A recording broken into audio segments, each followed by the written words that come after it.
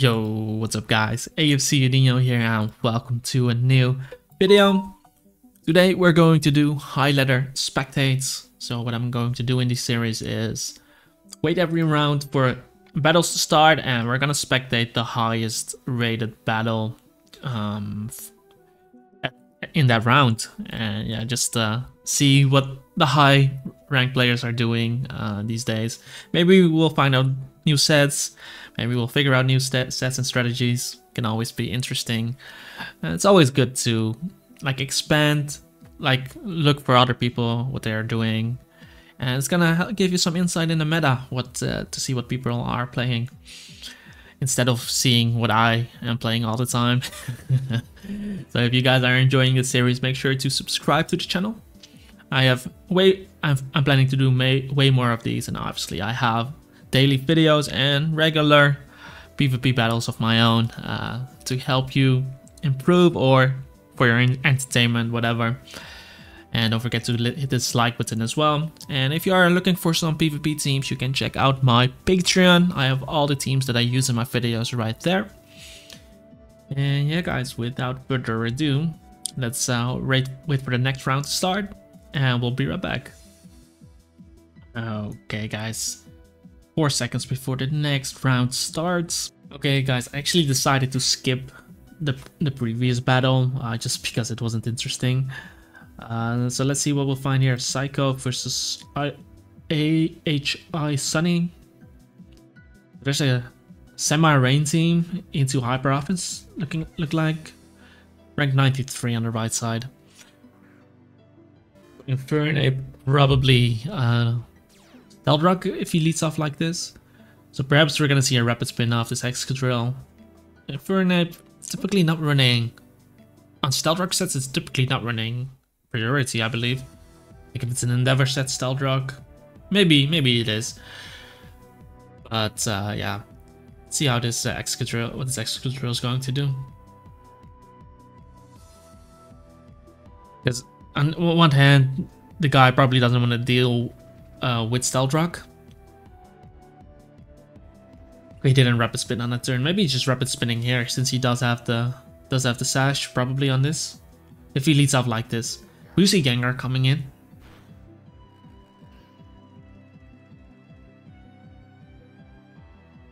But if Gengar dies, then Mach Punch is looking pretty dangerous from Breloom as well. Do see Icy Wind there. But Gengar probably not having the... Gengar probably not having the Focus Blast in this one, and Gengar does die. Oh, yeah, off like defensively doesn't really matter for Psycho that much. But uh, it's kind of opens up Breloom for a Mach Punch end game later on, uh, but Excadrill won't be able to spin there. Go straight into the Pelipper. Let's see what will what he's gonna do here. Earthquakes there. Leftovers, Chomp.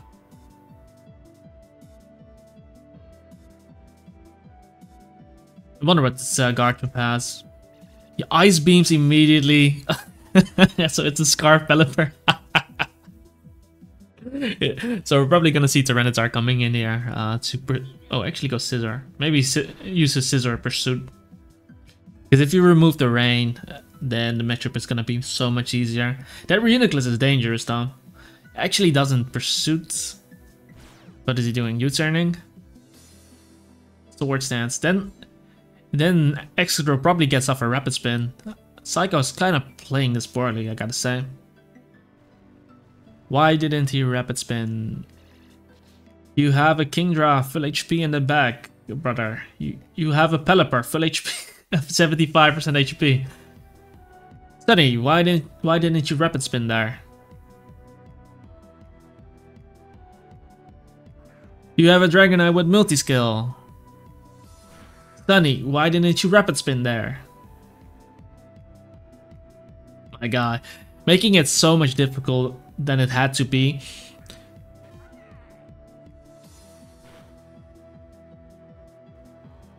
Infernape does go down here. Well, rocks are oh, up on both sides.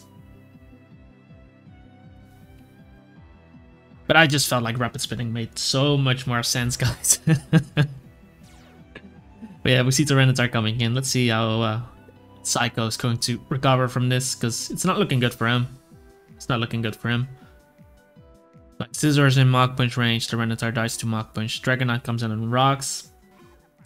We do see him going straight into Pelipper. Goes for Edge. And now he's gonna go Kingdra and spam Surf. What's he gonna do? Maybe Reuniclus can 1v1 the Dragonite. he has his own Dragonite in the back as well. I just felt like if you rapid spin would have been so much easier.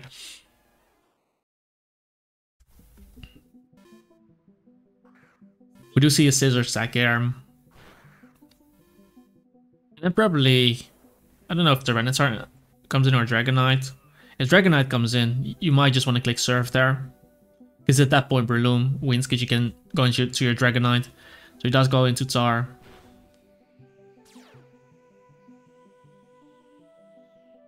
Ice Punch. So that's a Scarf Tar. And he gets the freeze. Oh no. This is scary because maybe he wants to go Dragonite now and Dragon Dance up.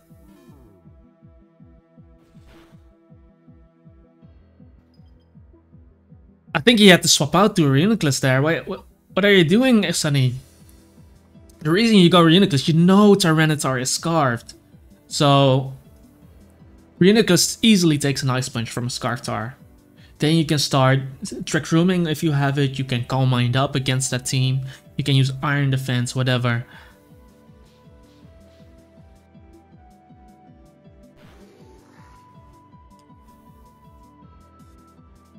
But this this is uh, atrocious now.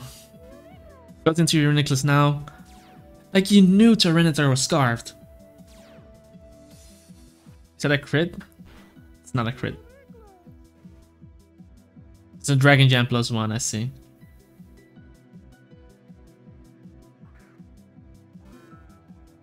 Because what he could do if if because that was an offensive trick uh, Reuniclus, so I assume he has Trick Room on it, right? If you Trick Room right there, then Breloom kind of wins, right? You have Rock Tomb for something, because Breloom probably slower than the Dragonite. And you don't have to use Mach Punch versus the Dragonite either. And you, you're faster than Tyranitar anyway with Mach Punch. Yeah, the freeze are obviously unfortunate, but uh, then you gotta look for your next play and not hope that you thaw. You just gotta assume that you you stay frozen that point because you still had some Pokemon left. Knowing the guy was locked in. But yeah, maybe Dragonite can still win. Because he can definitely survive, but it's Tyranitar is Scarf, so it makes no sense that he, he's not gonna win. Scarftar, unless Tyranitar misses. Nah, he, Tyranitar always clicks Ice Punch there. Then Dragonite dies. So wouldn't it be nice to have the Stealth Rock removed right now? so ba basically coaching coaching is sunny should review this game because you could have definitely won. Like i think you have to you have to prioritize removing this these rocks because it's gonna help your pelipper. It is it is helping your pelipper right there. It is helping kingdra as well because you don't want to take damage for, from kingdra because you want to take as less damage as possible uh, so that you can survive in extreme speed, so that you can survive a bullet punch. The same goes for the Dragonite, of course. Keeping him in multi-skill can be really beneficial as well. Because what he could have done as well against that Dragonite is Dragon Dance up right there. Because you live a plus one Dragon Claw and then win the speed tie on extreme speed. Then you outspeed the Tyranitar. Maybe you can hit him up with a Dragon Claw crit. Maybe have Earthquake or something. It's only showing why he's an ace trainer, but that's that's all right. Everyone has to learn. But he could have definitely won that game, even with that freeze. But uh, yeah, guys, how long have we been in? We don't count the first battle, so yeah, we're not really long into this video. So I am going to pause it. We're gonna look for another one, and we'll be right back, guys. Okay, guys, I actually found um, this this Zapdos matchup, so should definitely be interesting. Should definitely be interesting. Three legendaries on Yuto's team. The Ace Trainer. The Ace Trainer obviously running a rain team with Zapdos. So I'm curious to see. Seismitoad on that team, Scizor. So what did he replace? Oh, there's no Toxicroak. Normally Toxicroak is on this team, but Zapdos is there instead. So yeah, definitely, uh, definitely interesting to see. I do, yeah. This this this matchup could go either way. So we do see a Zapdos lead. Are we gonna see it into a Pelipper? Okay, so that's gonna be a Hurricane from Hudo probably coming out, and there's no real switch on Liz Diaz teams. Because if Seismitoad is gonna get a is gonna take a lot from uh, Hurricane. But that might be like a defensive uh, Zapdos, so we'll have to see. But like I said in one of my videos, Zapdos as Suicune is gonna be such a common core, and that is an offensive uh, Zapdos yeah, switching into Hurricane. Yeah, Life Orb. So I don't know if you want if he wants to Weather Ball or if he wants just wants to get up the rocks, but Ferrothorn probably coming in there anyway. So he's gonna Stealth Rock up here. I think you keep this and just go Scizor. Because you don't have any switch-ins to Zapdos, so you, you might want to keep this as a sec. Because you're not doing any damage to this anyway.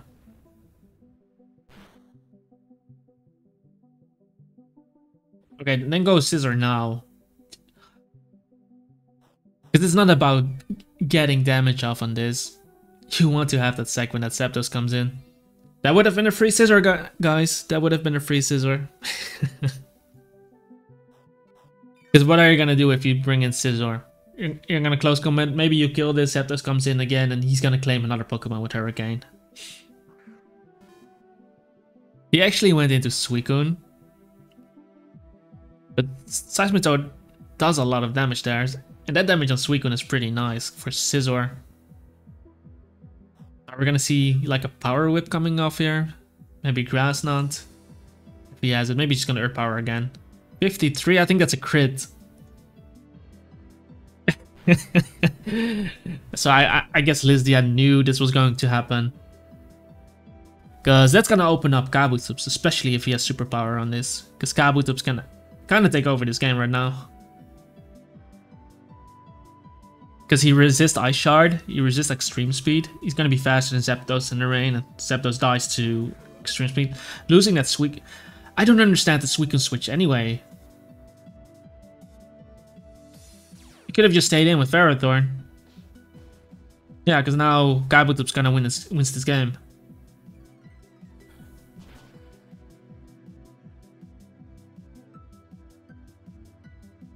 So basically both players was playing a lot there. Like you really, when you go into team preview, you gotta think about what am I defensively using against my, keeping against my opponent. What are my, what are my strong threats?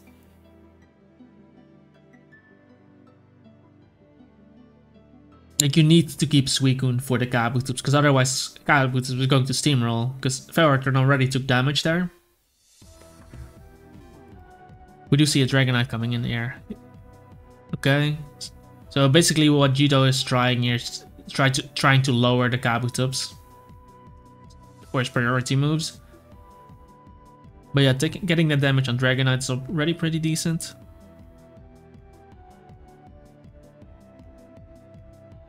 Has a double electric. Let's see how uh, is going to play this. Because I can then why did he stay in, bro? This is your win condition, man. You're minus one defense, brother. If that's a choice man, a Dragonite, and he clicks extreme speed, you also have a chance to die there. These people really need to watch this video, man. You're not gonna risk your win condition, because that extreme speed could have also crit him.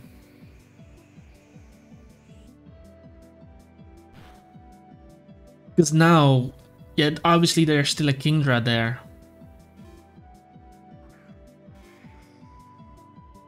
However, if, if Raikou starts, starts Calm Minding up, it's called it a lot actually. And I don't know why he went straight into Raikou. If Raikou had Calm Mind, then you don't go straight into... Then you get... Oh my god, these guys, man. You Because if Raikou gets a Calm Mind, he can technically win on his own. But you want to get a free Calm Mind when you're full HP. You want to get a Calm Mind when you're full HP into the Developer.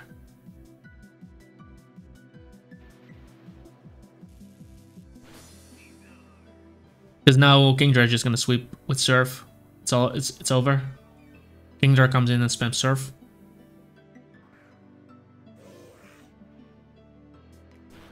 Because if if Raikou has a comment, he's gonna live the Surf.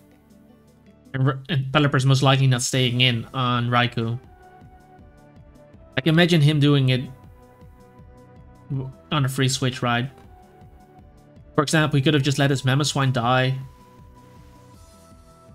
like, click Icicle Crash or something with the Mamoswine. Doesn't really matter, let Mamoswine die, then get in Raikou and Calm Mind up. Then you, with the Calm Mind you live. You live the Surf. Because that Kingdra is now way too healthy.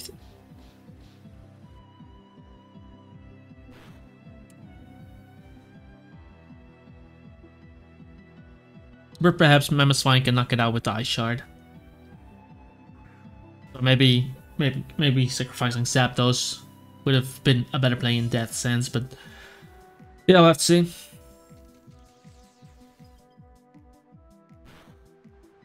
Life Orb, not enough. Goes for the Surf, and Zapdos is gonna drop as well.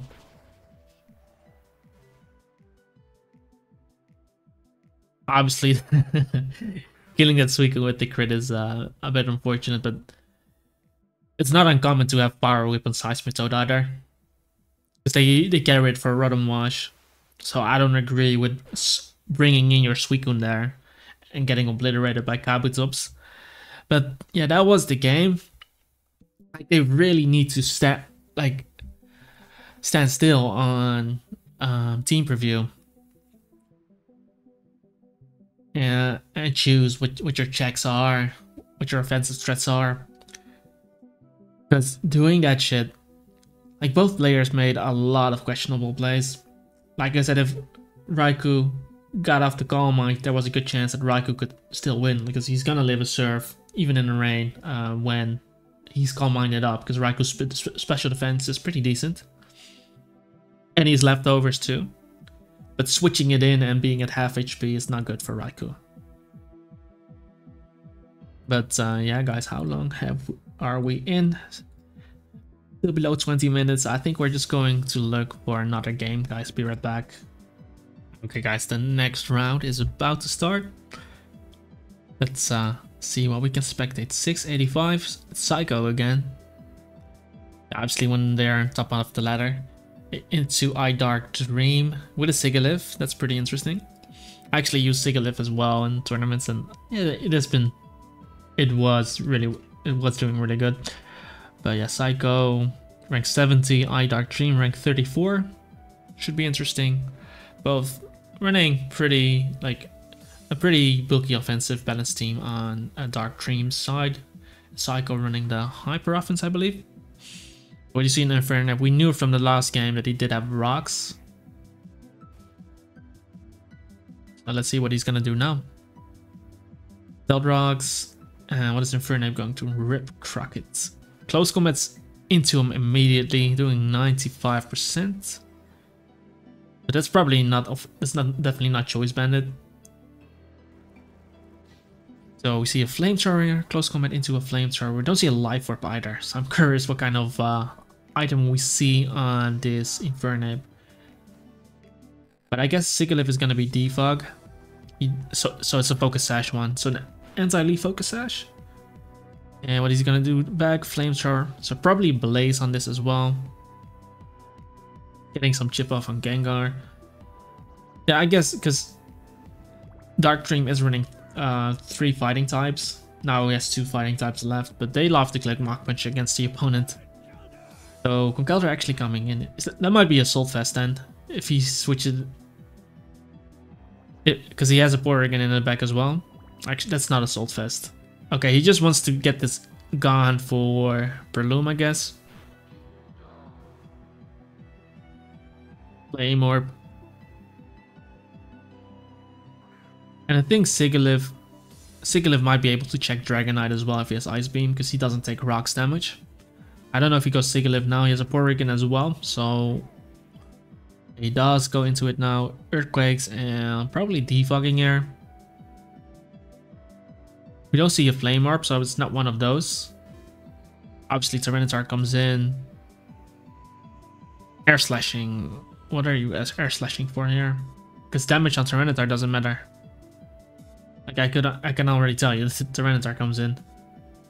Ice Punch comes off. Tyranitar actually going first. That might be Scarfed. That might be Scarfed. Oh, that is that is Scarfed because we saw an Ice Punch earlier as well. Yeah, obviously it is the same. Yeah, it's leftovers chomp here.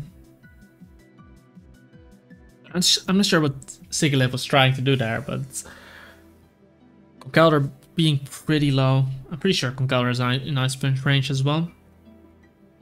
So that's going to be a mind game, uh, what the Conkeldurr is going to do. If Conkeldurr comes in, obviously Breloom comes in. Dragonite is still alive as well. But if I look at this, if Scizor dies, then Porygon can 1v3 the team, but he needs to kill Scizor somehow. Yeah, Scizor's not gonna really stay in against Hydreigon, probably. Uh, if he has a Tyranitar left.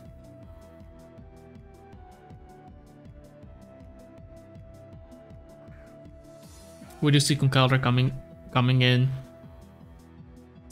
Conkeldurr is at 27. He should die to Ice Punch, like Scald from a defensive Suicune kills here as well. We'll see. We do see a swap out there. Is he gonna Ice Punch here? He revealed Ice Punch. Yep. like at that point, I think you just stay in with Tar to be honest. Making sure that this guy either doesn't heal or doesn't get to kill on because Gar Garchomp being gone. Um, one Pokemon slower than Hydreigon now. Because now the whole team is slower than Hydreigon. Uh, obviously Scarfed are, but the others are slower. Let's see what Scizor does here. I think Conkeldurr is gonna he's gonna stay in with Conkeldurr, so you just bullet there. Yeah.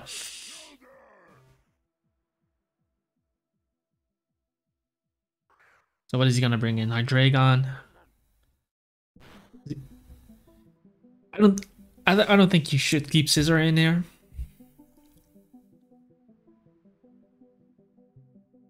On the other hand, and what if this is one of those Dragon Dance superpower sets with focus energy? He actually goes for rocks breaking the multi-skill. Okay, this is this might be a bit close. I don't think uh, Hydreigon dies to Ice Punch though. He actually went for Edge there, gets off a Draco, doing 68.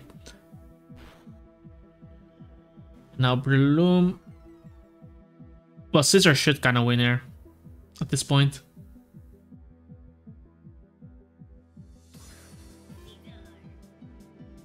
But if that's Bandit Scizor, depending on the Porygon set, Porygon could technically do something. But I think you obviously keep Hydreigon in. Mean, you gotta play off him being Bandit and then get in Porygon. Get to a good amount of HP. Kill Dragonite on the switch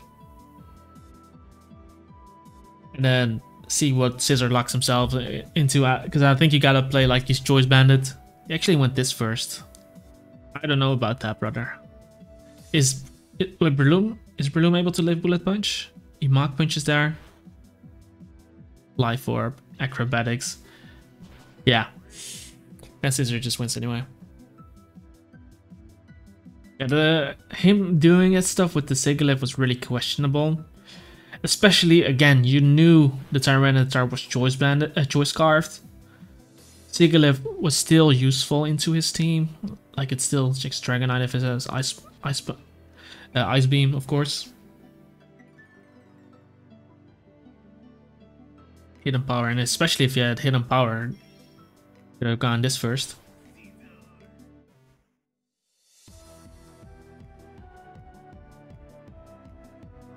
But yeah, if you had close combat Umberloom, that would have been a different story. but he was life orb, maybe he had it. You never know. But yeah, Porygon should go down to the Dragon Claw and Psycho wins this game. So yeah, I'm not sure. I'm not sure what the what the purpose was of Sigilyph because I assumed he was defog. He didn't have rocks up yet, so he could have just defogged on when he swapped it in on the Garchomp, I believe. And I believe it wasn't an earthquake from Garchomp. Because you should like Tyranitar should come, especially if you don't see a Flame Orb.